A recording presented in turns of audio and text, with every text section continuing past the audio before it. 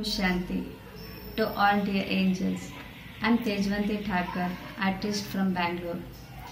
As you all are aware of this coronavirus and all are at home, here is an opportunity for you all to show your talent. A national online painting competition has been organized by Bundelkhand Art Group.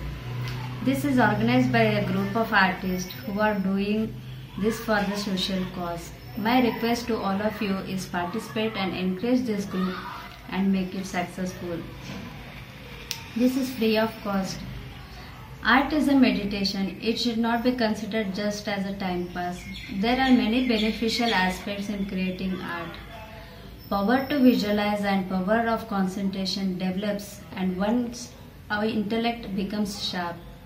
Today, during this crisis, rather than using our powers, we are depending on websites like Google, Encyclopedia, and YouTube to solve our issues.